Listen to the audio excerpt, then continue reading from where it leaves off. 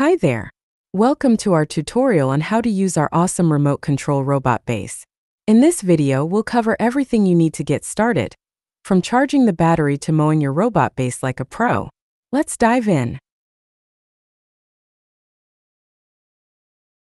First things first, before using the machine, make sure to charge the battery fully.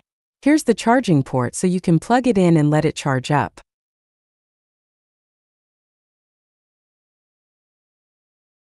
Next, when you receive the machine, the emergency stop button will be in the closed position due to safety concerns.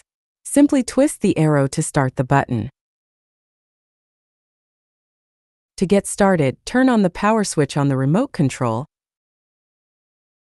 then turn on the power switch on the machine.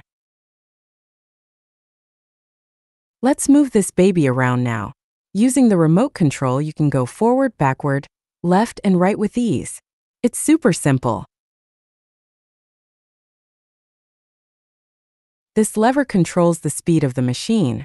You can switch between high and low speed depending on your mowing needs.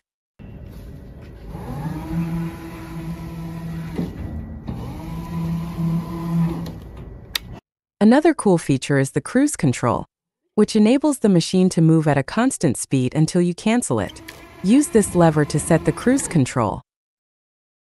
Finally, to turn off the machine, switch off the power button on the machine itself, followed by the power switch on the remote control.